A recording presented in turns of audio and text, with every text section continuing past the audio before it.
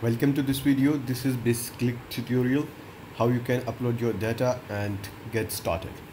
This is for the beginners and uh, if you are not a technical user for, for that matter that means that you are a business user this video is for you. So bear with me. Let's get started. Okay. So we have this data.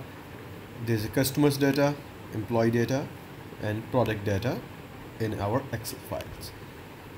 So we will be using this particular data and if you see this data looks like a table uh, irrespective where the data is coming from so we can just get the data and uh, fetch the data in Qlik In my later tutorial I will get to how you can get data from SQL databases and all those databases for the for the time being let's just get started with Excel data. So this is just simple product sale of some company a dummy company so let's get, get started. In order to use this particular data what I have to do is just drag and drop the data within Qlik. in this particular video we will go through other methods to upload the data within Qlik as well. Okay so the data is getting prepared. At the back end essentially data is getting uh, recognized it's uh, analyzed so that it can give us some nice suggestions how to we can see our data how we can correlate our data. So here we go. We have these five, four five tables here. There is employee table customers table. So if you see um, just by design the order table is main then there is the customer table employee table and product table but if I just click over it it is suggesting me that where it should join. It can't connect with other but it's suggesting me to join it over here. That's green. And if I drag it over there so it's automatically associate with that. And if you see it has given me that the product column ID column from the product ID column from the orders product has been associated. If I go by the employee it's not the complete match but I know that it's uh, has to be with orders if you see here the it's the field is employee id and here it is employee key. So the naming are not same but it has associated looking at the data is similar. So it has come up with the idea that yes. And if you see the employee id has ceo and other uh, designations as well which might not be sale representative. So that's why the data was not complete match. And if i go to the customer column so here again it's suggesting me very nice one.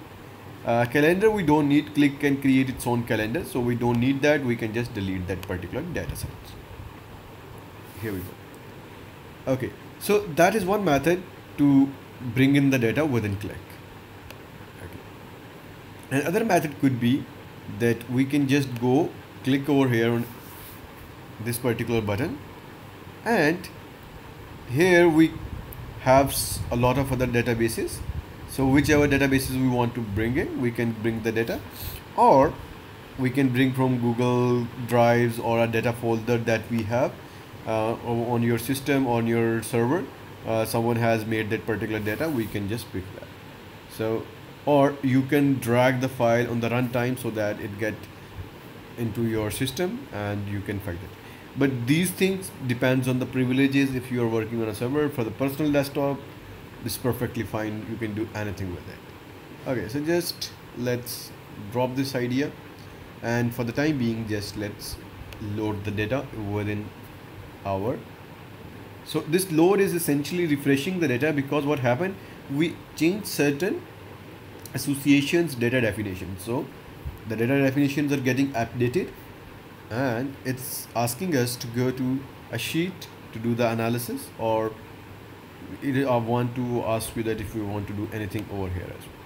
So now let's just go to the analysis. By the way, depending on the versions you have, it might be a little bit different, but more or less the context would be same. So here we have three options.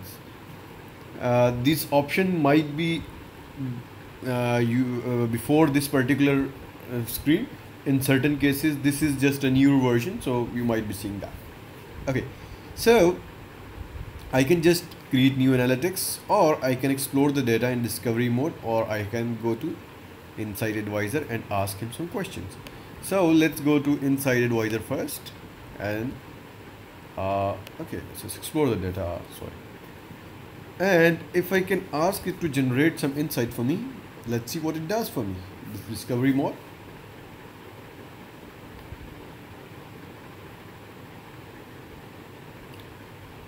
So here it comes up with certain data anal analytics that it has seen the total quantity that was sold here, total distinct customers are this. It has given us some unit price, certain orders map by world population, how our things are being fade away, and then we have other analysis. If you see some analysis make sense, some of them don't. So as there is no sales price sales amount field so certain analysis is assuming that might our unit price might be the sales price. So certain analysis might be skewed. But I like this one. Let's just add it to permanently to our sheet and just make it a new sheet. I am yes this one is good as well. I'm interested in quantity as well.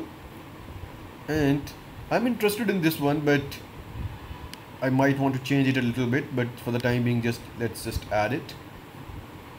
And then there is another analysis that I might be interested is sum of quantity. Let's this seems one good one. Okay so these are basically what I'm doing over here I'm looking at some suggestions that Qlik insight discovery mode has given me. And based on those suggestions I'm adding that to my permanent sheet so that where I can analyze it again and again. And if I go to the sheet now just again click on the discovery. So it has made me nice and easy way uh, however it fits.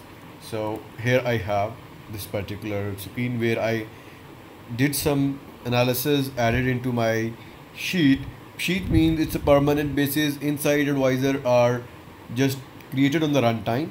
It will go away. And it will learn as you use your Qlik Sense you use your data it will learn and it will in the future in the future it will give you some intelligent analytics. Okay. So just let's get started with this analytics uh, that we have over here just make them a little I'm not going into the much of detail that will be my second video but for the time being let's just make them a little more intuitive.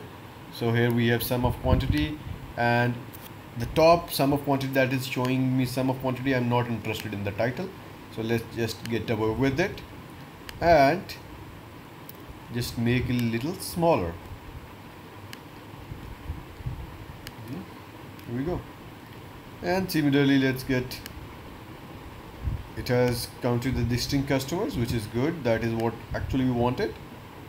But on the same side it's too, too big so let's just name it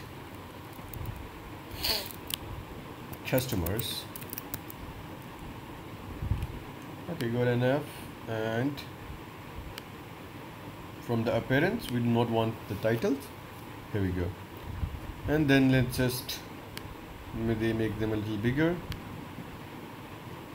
The quantity is good but here the unit price we need to change it a little bit.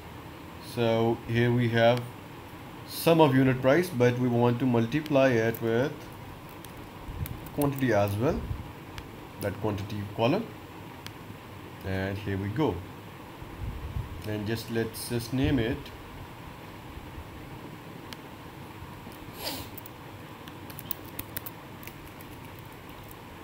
Sales amount.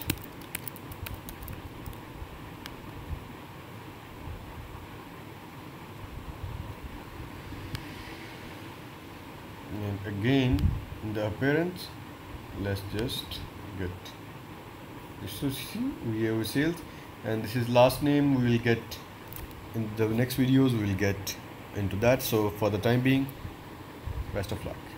Let's go to the second. Thank you very much